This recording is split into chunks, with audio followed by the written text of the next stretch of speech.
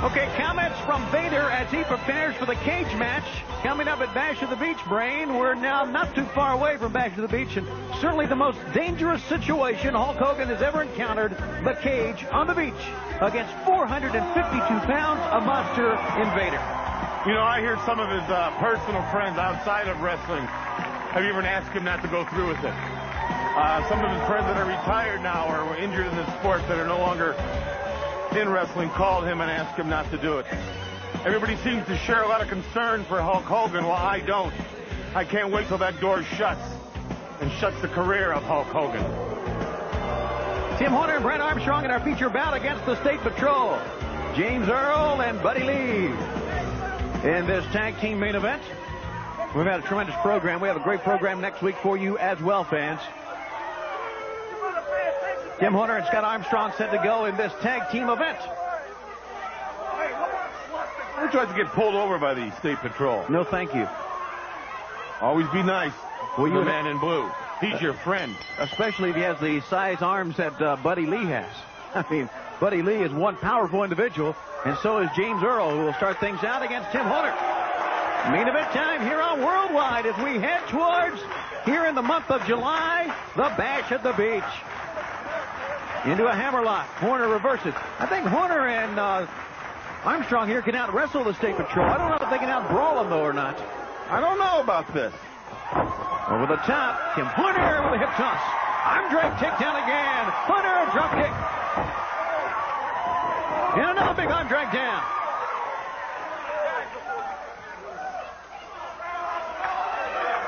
Well, you know, Horner is very quick. He's always been a very speedy wrestler, and he's, he has to do that because of his size. You know, he's not 6'5", he's not 270, but he's beating a lot of big men.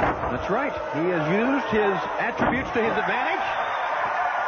James Earl, arm drag takedown again from See how Tim quick Horner. that was, how he tucked under? Yeah, I saw that. I'm watching the match too. I just want to make sure you were. What are you going to wear at the beach? See-through raincoat.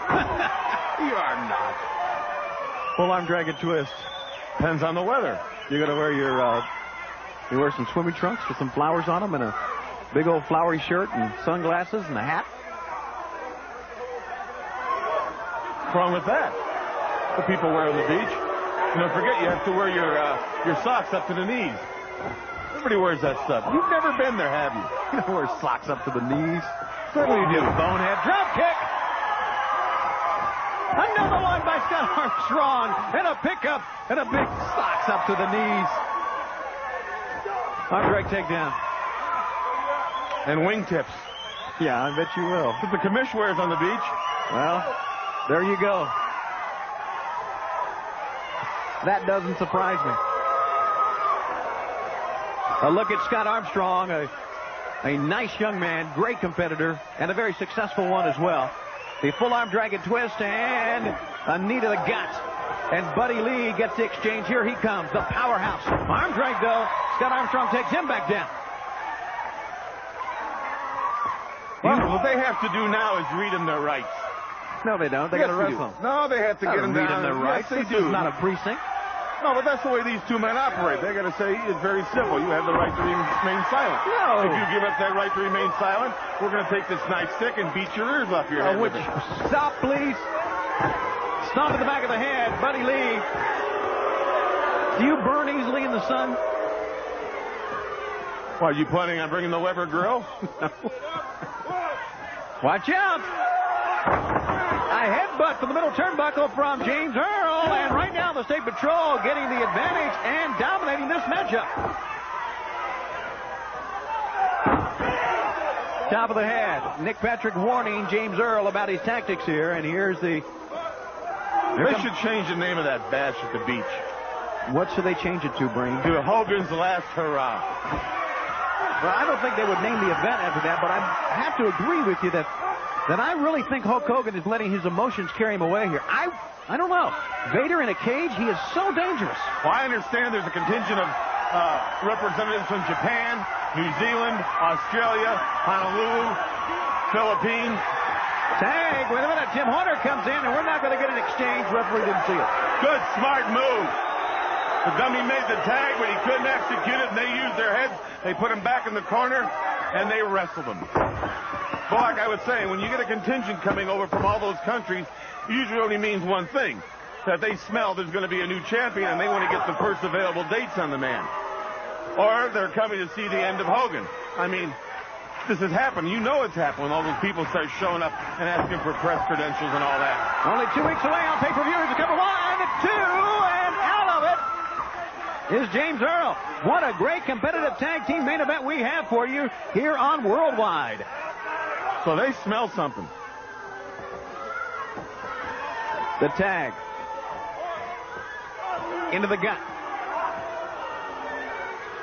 Front chancery applied by Buddy Lee. Forearm shot, and here we go, the whip. Into the corner. Oh!